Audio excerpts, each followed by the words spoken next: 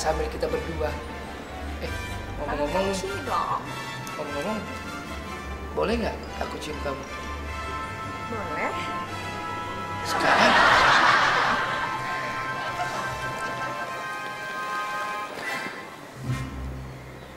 Em, sebelum lo pulang sekarang, lo boleh cium gue. Tapi habis itu jangan salahin gue kalau muka lo gue gampar.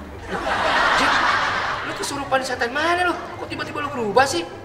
Ya, ya nggak tahu deh. Pokoknya gue tiba-tiba aja berubah pikiran. Pokoknya kalau emang lo mau tetap usaha nyium gue sih ya terserah. Tadi lu bilang boleh gua cium. Masa sekarang jadi berubah begini? Iya, soalnya gue tuh dikenal sama eh, keluarga, teman-teman, tetangga. Gue tuh jadi cewek baik-baik, Van. Masa tiba-tiba gue mau dicium sama lo? Lo, gua kan pacaran lu, Jet. Kita pacaran udah lima tahun, masa gua cium sekali aja nggak boleh? Iya, iya bukannya nggak boleh, tapi ih nggak bisa dibilangin. Nanti kalau misalnya ada apa-apa jangan salahin gue lo ya. Ya nggak apa-apa lah, gua cuma sekali aja gua cium ya. Iya, ya terserah sih. Eh, eh, eh, eh. Lu mau coba-coba cium anak gua? Gua gampar lo.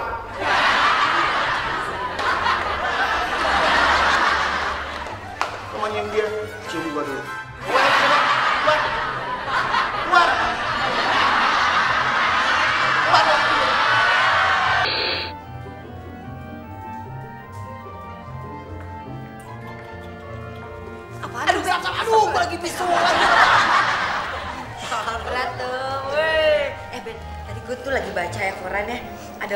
Kerja nih, pengalaman tidak diutamakan tuh. Eh, gua mau dong, Sat. Mm-mm. Gajinya memuaskan Ben, 5 juta per bulan. Serius lo? Iya. Gua mau dong, gua mau dong. Mm. Nih syaratnya ya, harus sabar, teliti, dan harus punya keberanian. Gila asik banget. Wah, asik banget tuh. Ah, Mau dong, gua, Sat. Emang kerjanya ngapain? bersihin gigi singa.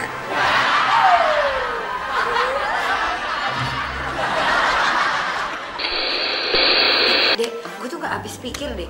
Istri lo pulang pagi, lo kok gak pernah marah sih? Ya enggak lah, Sap. Soalnya kalau gue yang pulang pagi, pasti bakalan ngabisin banyak uang. Ya ampun deh, istri lo pulangnya pagi. Iya, kalau dia pulangnya pagi, pasti bakalan bawa banyak uang. Benar nggak? Kalau suami lo bawa. Sekarang, lu maju duluan. Lawan lu. Hmm. Hah. Hitam, hitam. Hmm. Lawan. Oh, ha, mampus lu dikepung. Ayo lu. Pak, What? Gak bisa. Diam. Papa main catur kok sendirian sih?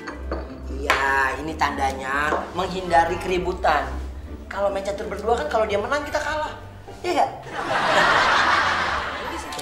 Iya. Pak. Papa, Pasti. aku hamil, Pak. Kapan mah? Ya sekarang dong, aduh, papa ini gimana sih? Kalau mau mau mau pegang nggak? Pegang nggak? Udah berasa nih gerak-gerak nih. Tuh. Mah, ada suara iya mah. Iya. Dia bisa ngitung. Ah, wah, berarti bakat mah jadi penjual handphone. Iya, anak aja kamu ini. Jual handphone. Ini nih nanti gedenya bakalan jadi guru matematika. Kok mama tahu kalau mama hamil? Ya iya dong, Pak. Papa tuh gimana sih? Mama itu pakai ini nih. Itu apaan mah? Ini namanya tes kehamilan. Diujinya pakai eh, urin. Gitu. Kalau misalnya nanti st- apa ada garis, garisnya dua, itu berarti positif, Pak. Oh. Mm-mm, Terus udah gitu kan mama belinya eh, satu bungkus, satu bungkus itu isinya ada dua. Terus mama udah coba dua-duanya? Iyalah pak, soalnya mama takut hasilnya nggak akurat. Yang pertama hasilnya positif gak mah? Iya positif, Yang kedua mah? positif juga pak. Wah, berarti anak kita kembar dong mah. Kembar gimana sih pak? Kan dua-duanya positif. Makanya catur tuh jangan sendirian, gila jadinya.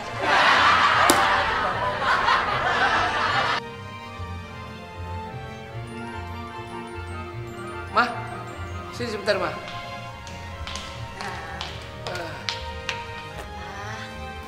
Maaf nih, Mah. Eh, Papa pengen cerita sesuatu sama Mama. Cerita apa sih, Pak? Pak? Cerita apa? begini mah, sebenarnya papa itu selama ini ternyata eh, Papa mau buka rahasia. ya semacam itulah mah. Kalau papa mau jujur sama rahasia papa, mama juga mau jujur dan terbuka sama papa. Ya kalau begitu terima kasih eh, mama sudah mau mendengarkan cerita papa.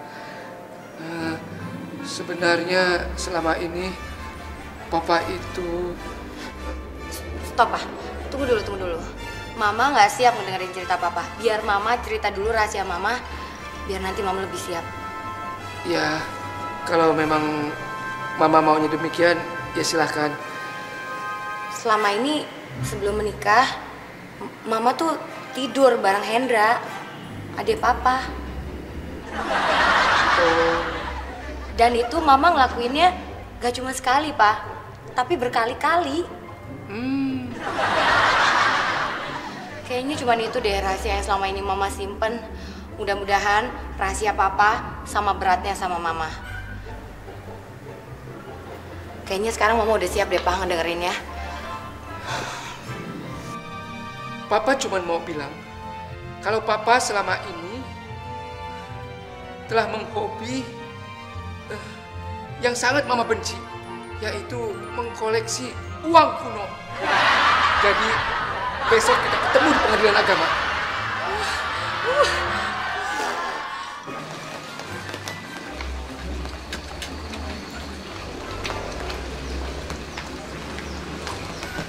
Udah ya, kita pulang sekarang yuk. Udah hujan tuh, rintik-rintik. Pokoknya nanti aja dong. Ayah lagi menikmati makanannya nih. Wah, enak banget. Eh, lain kali kalau ayah datang lagi ke sini, ajak makan di sini ya. Pasti ya, nanti kalau ayah datang lagi ke Jakarta pasti aku ajak ke sini. Ayah sih, soalnya kan dari kampung. Jadinya kayaknya enak banget makan di sini. Coba kalau ayah tinggal di kota, udah biasa ya makan kayak gini. Kamu tuh sekarang udah mentang-mentang banyak duit, ya.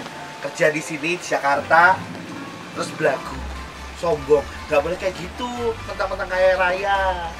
Tuh, ayah kok kayak gitu sih? Masa bilang aku sombong? Nah, tapi kan ayah emang baru sekarang makan steak, ya kan? Loh, enak aja. Di kampung nih makanan steak ini juga udah ada. Tau nggak? Tapi kok di kampung itu namanya tuh semur. Eh. Lalapannya enak, nggak pahit kayak gini. Emang ada lalapannya ya? Loh, iya, tadi dikasih lalapan, tapi pahit. Masa sih? Kok aku nggak lihat ayah makan lalapan? Masa ayah bohong, tadi pas kamu ke belakang tadi, ya baru ke belakang, ayah makan lalapannya. Ya udah deh. Mbak, Ya, ada yang bisa saya bantu, Mbak? Eh, udah mbak.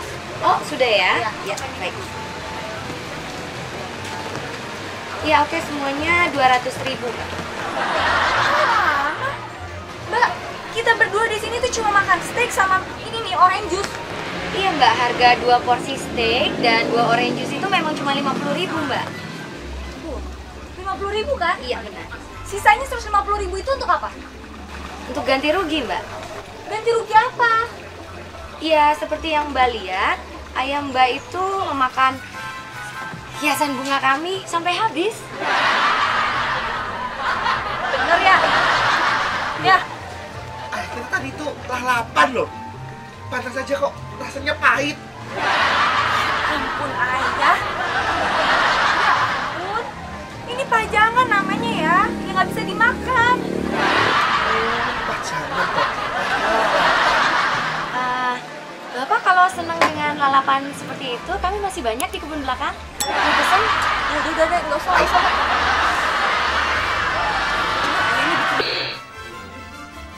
Eh, lu udah pada main handphone mulu. Lo mau nggak nih ada kerjaan nih? Gua mau dong. Gajinya 10 juta, kerjanya cuma tiga kali seminggu. Serius lo? Iya, Gua mau dong, emang kerjanya ngapain? Wah, gampang banget nih. Cuman mukulin pantat sapi sampai jadi abon. Wah, gua gak berani.